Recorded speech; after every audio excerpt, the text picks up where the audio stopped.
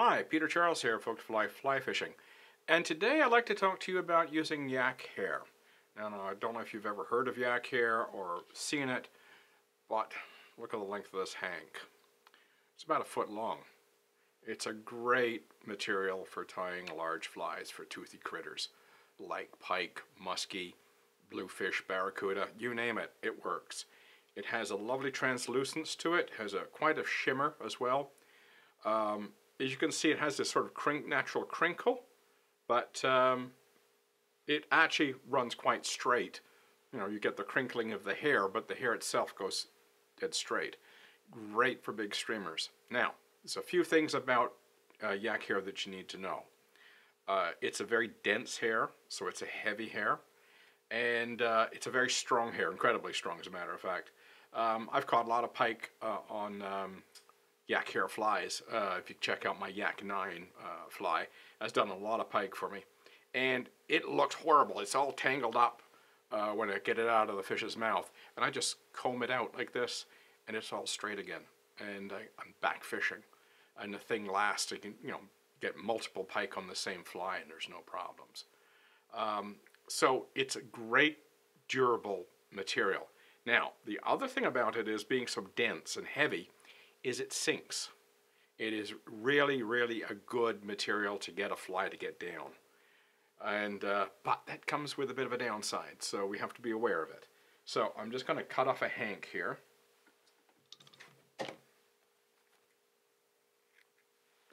And we're going to tie it on to this hook, and I just want to demonstrate a couple of things for you.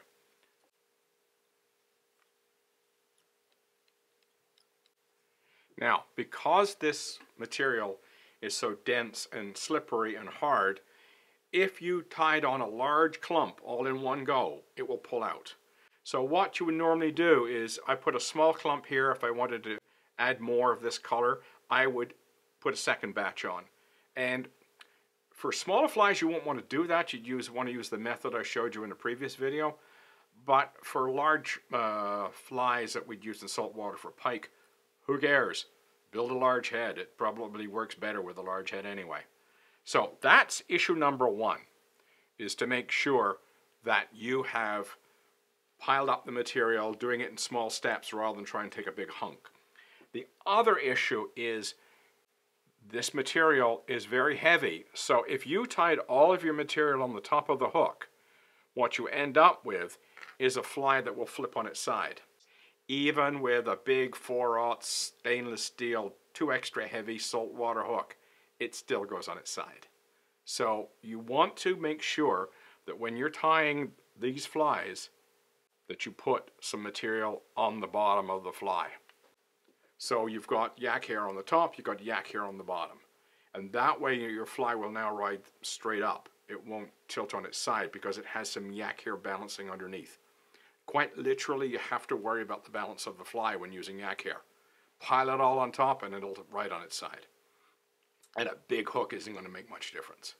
But this stuff is fabulous to use. If you check out my uh, video on the Yak 9, yeah, I know it's an old video. But anyway, if you have a look at it, you'll see how I tied on uh, yak hair onto this particular fly. And I also mixed in some bucktail too, if I remember correctly. Uh, because bucktail can help offset that uh, tendency to flip on one side. Anyway, give yak hair a try. It comes in a bunch of colors and it has that nice translucence, a bit like polar bear. Very tough, very durable, and heavy. Anyway, give it a try. Cheers.